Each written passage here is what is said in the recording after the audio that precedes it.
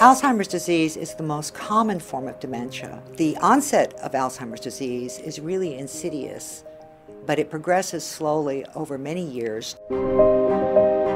Currently, there is no treatment, symptomatic or to slow progression, for this condition of mild cognitive impairment.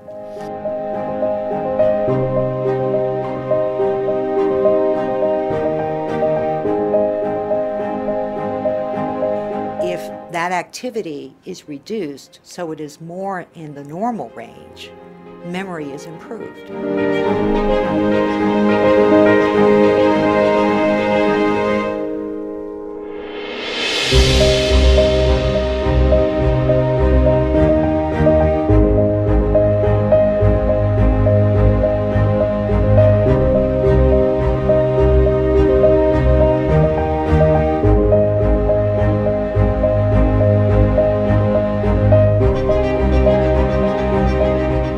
If we could stop the progression of Alzheimer's disease in this early phase, that would be an amazing achievement.